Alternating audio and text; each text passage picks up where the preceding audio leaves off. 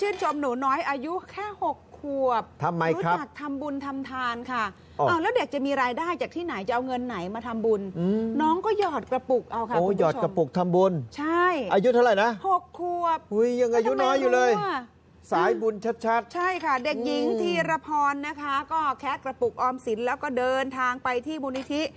สว่างเบญจธรรมๆอืมสมุทรสงคราม เพื่อออไปบริจาคเงินเหรอเพื่อช่วยเหลือเพื่อนมนุษย์เนี่ยค่ะกระปุโอ้ยกน่าของรักน้องจังเขาคิดของเขาเองเหรอใช่ค่ะ น้องได้เงินมา 624 บาทโอ้แล้วก็บอกว่าหนูจะมาทำบุญค่ะโอ้เออให้กับคนที่เขาตกทุกข์ได้ยากโอ้เจ็บจิตไข้ใจได้เขาป่วยช่างบริสุทธิ์เนาะค่ะ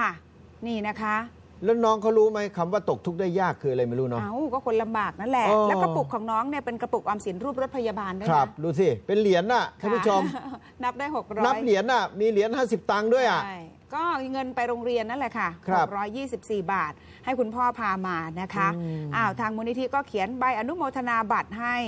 มอบให้กับน้อง เอาไว้เป็นที่ระลึกนะคะ ว่าครั้งหนึ่งหนูอายุ6ขวบเองนะ หนู หยอดกระปุกออมสินได้2เอ่อได้ 624 บาท โอ้โห แล้วก็เอามา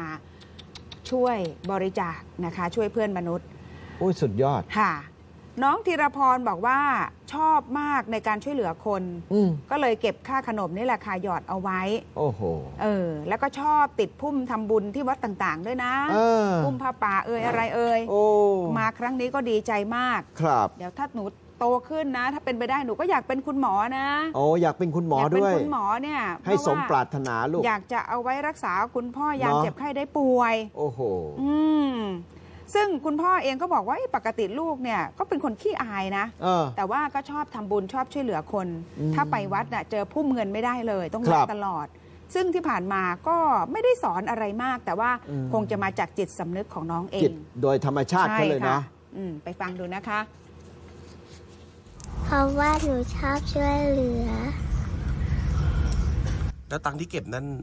เก็บได้เยอะไหมที่เอาไปบริจาคอะเยอะ ตังค์เอามาจากไหนตังค์ที่ มาจากกระปุกออมสิน อ๋อ แล้วโตขึ้นหนูอยากเป็นอะไรเนี่ย คุณหมอคุณหมอทำไมถึงอยากเป็นคุณหมอไอมารักษาป้าอ้าวป้าเป็นไรอะให้สบาย อ๋ออยากเป็นคุณหมอเอามารักษาป้า หนูชอบทำบุญที่วัดด้วยใช่ไหมทำยังไง เอามาเสียบ อ๋อ ชอบทำบุญชอบช่วยเหลือ แล้วก็เจอตามวัดก็ไม่ได้ก็ทำบุญที่วัด แล้วคือน้องเขาเป็นคนยังไงน้องเขาก็เป็นคน ถึงจะแม้จะไม่ค่อยนั่นแต่เขาก็ชอบทำบุญอะแล้วเขาบอกไหมว่าโตขึ้นเขาจะเป็นอะไรครับโตขึ้นเขาอยากเป็นคุณหมอ อ๋อ บอกว่าจะเอามารักษาป้าอ๋อ แล้วคุณพ่อได้อะไรนะไม่ได้ไม่ได้สอนนะ แต่เขา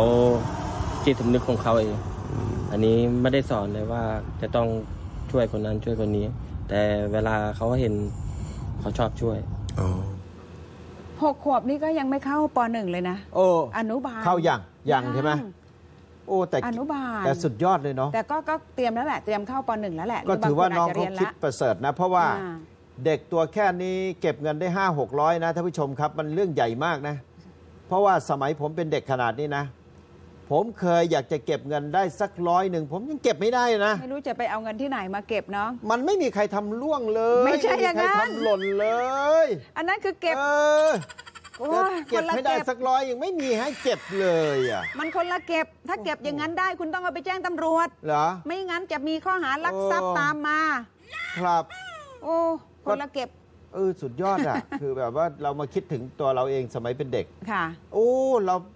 ออมเงินได้เล็ก ๆ น้อยๆนี่ได้ตั้ง 5 600 บาทนี่มันไม่ธรรมดาเงินะนสมัยก่อนสมัยนะคุณมันหายากพี่กำพูสมัยนี้ก็หายากมั้งสำหรับเด็ก ก็หายากแต่ว่ามันก็อืมยังมีอยู่ไงคสรัมับยก่อนเงินมันไม่รู้ไปไหนหมดเนาะหายากๆเนาะ